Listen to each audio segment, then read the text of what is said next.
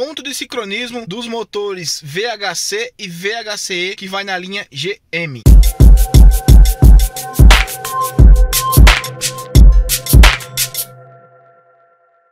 Aê, Premiums, Rudney Oliveira aqui, tudo bem com vocês? No vídeo de hoje, pessoal, é um vídeo mais básico, mostrando para vocês os pontos de sincronismo, né, para você estar tá efetuando a troca da correia dentada no motor VHC, VHCE, é, 1.0, 1.4 e 1.8, que vai na maioria dos carros da linha GM, né, como Celta, Prisma, Meriva, entre outros modelos aí que eu vou estar tá colocando na descrição do vídeo. Então, para não ficar um vídeo tão longo, é, eu já gravei a outra parte lá na oficina, vou mostrar para vocês vocês detalhe por detalhe de todo o sincronismo desse motor. Vamos lá.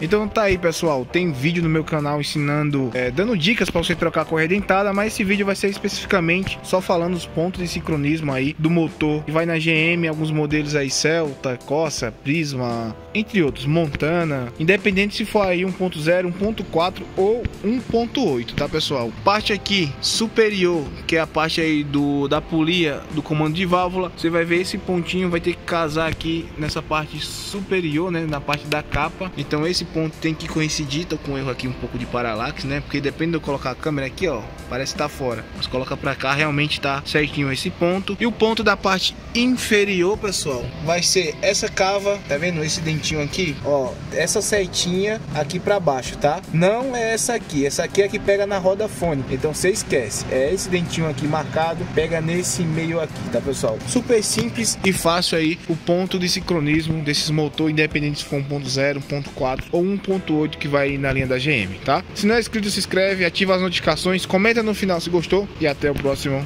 vídeo.